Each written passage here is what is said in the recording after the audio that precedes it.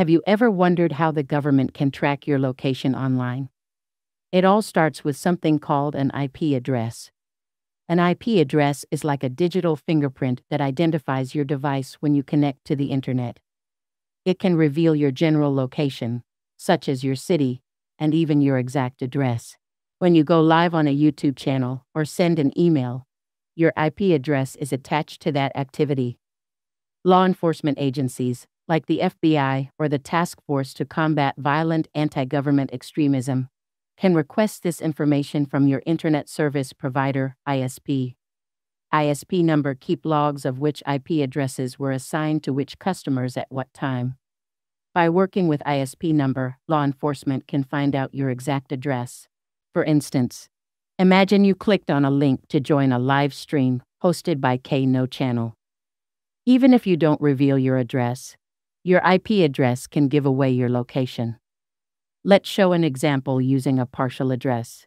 Example KayNoChannel's IP address is 192.168.1.1.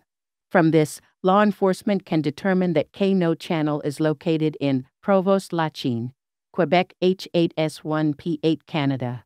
We only provided a partial address as an example to demonstrate how easily we could obtain the address for educational purposes. So, exercise caution when participating in her live show. It's important to be cautious online, especially when joining live streams or promoting controversial groups like the NFAC militia. Law enforcement can easily track your location if you're not careful with your online activities.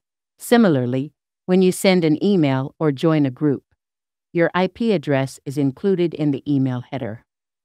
Law enforcement can determine your location by examining the email header.